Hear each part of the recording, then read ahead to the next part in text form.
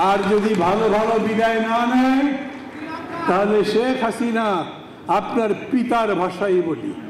উনি বলতেন উনি বলতেন, সোজা আঙ্গুলে যদি ঘি না ওঠে, আঙ্গুল বাঁকা করে ঘি তুলব।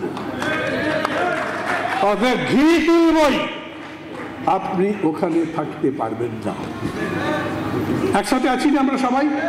একসাথে লড়বো একসাথে লড়বো। এবং বিজয় অর্জন করব।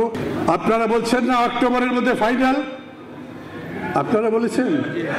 নাকি এখান থেকে বলেছে আপনারা সমর্থন করেছেন? যেখান থেকেই বলি, আমরা সবাই চাই যত তাড়াতাড়ি সম্ভব এই সরকার বিদায় নিক, ভালো ভালো বিদায় নিক। তাই সচিবরাও থাকবে না, সচিবালয়ের লোক থাকবে না, আর্মি থাকবে না, পুলিশ থাকবে না, সারা দেশের কোনো মানুষ আপনার সাথে থাকবে না। জি টোয়েন্টির মিটিংয়ে গেছেন শেখ হাসিনা।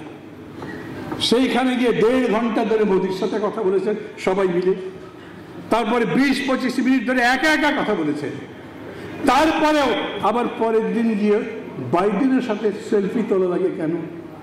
ইন্ডিয়ার সাথে থাকলেই যদি কাজ হয়, তাহলে বাইডেনের সেলফি তুলতে হয় কেন? কেন?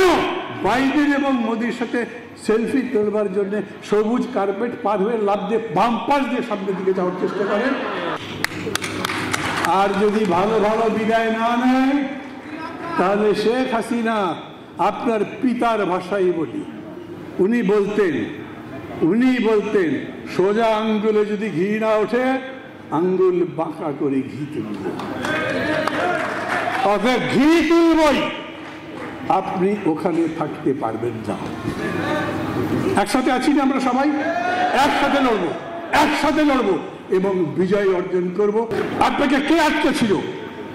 আপনি যেন এরকম করে সামনে না যান, এই হাত দিয়ে ইশারা করে কে বলেছিল? মোদি মোদি কি নেপালের প্রধানমন্ত্রী নাকি? আপনি ইন্ডিয়ার দালাল, নিজেই বলছেন। আর মোদি ইন্ডিয়ার প্রধানমন্ত্রী। উনি আপনার প্রধানমন্ত্রীকে সামনে যেতে দেয়নি।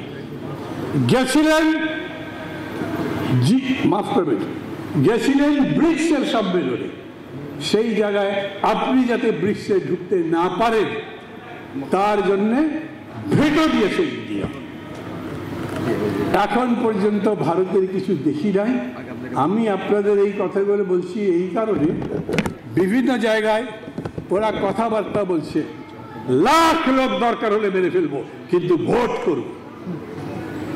লাখ লোক মারতে পারবেন না। নিজেরা আচারকে ঠ্যাং ভেঙে মারা যাবেন পড়ে থাকবেন, সামনে যেতে পারবেন কারণ হচ্ছে, আপনাদের সেই ক্ষমতা নাই। এই যে পুলিশের আইজি সাহেব একটু আগে বক্তৃতা করলেন, খুবই চমৎকার বলেছেন। আমি ভাবছিলাম আর একটু বলবে, পুলিশের মধ্যে এখন অবস্থা কি? আপনারা তো একজন আরেকজনকে ফোন করে রাতে রাতে, জানেন নাকি? বউরা আবার গল্প করে, না, ওনার বোধ সাহেবের তো বোধ হয় রেস্ট্রিকশন হয়েছে বিশেষ স্যাংশন হয়েছে, আমার ছেলেটার কি করব? অনেক ছেলেকেও তো পাঠিয়ে দিচ্ছে। শেখ হাসিনা বলতে পারেন, যাব না আমেরিকা। কিন্তু সেক্রেটারিরা বলতে পারবে না, আমেরিকা যাব না, কারণ তার তাদের ছেলেদেরকে আমেরিকা পাঠিয়েছে, ইউরোপ পাঠিয়েছে, লেখাপড়ার জন্য। নিজেরা ব্যাংকে টাকা রেখেছে, যেতে হবে তাদের।